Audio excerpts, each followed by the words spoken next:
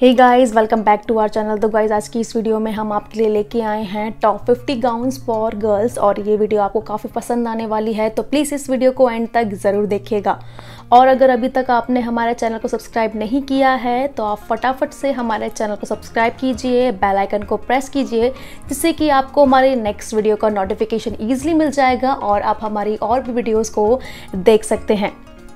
तो गाइज़ आप सबको पता ही है कि आजकल गाउन्स कितने ट्रेंडिंग में चल रहे हैं। चाहे कोई फ़ंक्शन हो, चाहे कोई मैरिज हो, चाहे कोई छोटा मोटा ओकेशन क्यों ना हो, हर कोई गाउन पहनना पसंद कर रहा है। और ख़ासकर लड़कियों की ये पहली चॉइस है क्योंकि गाउन में बहुत ही ज़्यादा एक अच्छा लुक आता है, बहुत ही प्रिटी और एलिगेंट और ब्यूटीफुल्स लगते हैं आप सब लोग, अगर आप लोग ये ट्राई करेंगे तो। और हमारी वीडियो को आप एंड तक ज़रूर देखिएगा, जिससे कि आपको एक आइडिया हो जाएगा कि आपके ऊपर कौन सा गाउन सूट करेगा और मार्केट में किस तरीके के गाउन्स अवेलेबल हैं तो प्लीज़ इस वीडियो को एंड तक ज़रूर देखें। अगर आप शादी में जा रहे हैं किसी पार्टी में जा रहे हैं तो अगर आप ऑफ़ शोल्डर गाउन को अगर आप पहनते हैं तो उसमें आप काफ़ी ही, बहुत ही प्यारे लगेंगे। ऑफ़ शोल्डर में जो आपका स्लीव्स रहती हैं, वो शोल्डर से नीचे रहती हैं और स्लीवलेस इसकी स्लीव्स रहती हैं, इसलिए ऑफ़ शोल्डर है, ये बहुत ही ट्रेंडिंग में है। ऑफ़ शोल्डर में आपने देखा होगा गाउन्स भी हैं टॉप्स भी आ रहे हैं इसमें। देन अगर आप जैकेट स्टाइल गाउन को कैरी करते हैं तो इसके साथ में एक जैकेट रहती है जो आप गाउन के ऊपर पहन सकते हैं। ये लुक भी बहुत ही डिसेंट लगता है। देन आपका फ्लेयर गाउन इसका वॉल्यूम काफ़ी ज़्यादा होता है। इसमें आपकी हाइट काफ़ी अच्छी दिखती है और एक थोड़ा डिफरेंट सा लुक आता है बाकी अदर गाउन से। साड़ी स्टाइल गाउन ये गाउन बहुत ट्रेंडिंग में है। आप चाहें तो उसको कोई गर्ल्स भी पहन सकती हैं उनको कोई मतलब कुछ आप लोग की अगर मम्मी वगैरह हैं वो भी ट्राई कर सकती हैं क्योंकि ये लुक भी बहुत प्यारा आता है।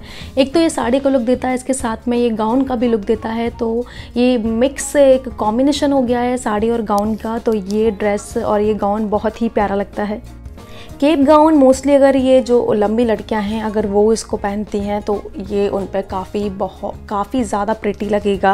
देन आपका सिक्वेंस गाउन ये सिक्वेंस गाउन काफ़ी ज़्यादा अभी ट्रेंडिंग में चल रहा है।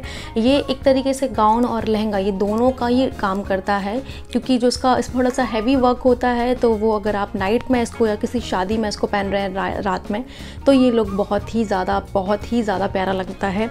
देन आपका cold shoulder gown cold shoulder gown में आपने देखा होगा कि जो जो आपकी स्लीव्स होती हैं वो शॉर्ट रहती हैं और ये आप, आपका प्लस आपका ऑफ़ शोल्डर भी होता है तो एक तरीके से कॉम्बिनेशन होता है कोल्ड शोल्डर कोल्ड शोल्डर और ऑफ़ शोल्डर का। देन आपका मिरर वर्क गाउन ये आपके लिए अगर कोई ब्राइडल है तो वो उसको पहन सकती है क्योंकि ये बहुत ही ज़्यादा थोड़ा हैवी होता है तो ये ब्राइडल पे काफ़ी अच्छा लगता है। देन आपका रफ़ल गाउन रफ़ल गाउन बहुत ही प्यारा लगेगा अगर आपको किसी, आप किसी छोटे मोटे फ़ंक्शन के लिए वेयर करेंगे, ये बहुत ही लाइट वेटेड होता है, बहुत हैवी नहीं होता है।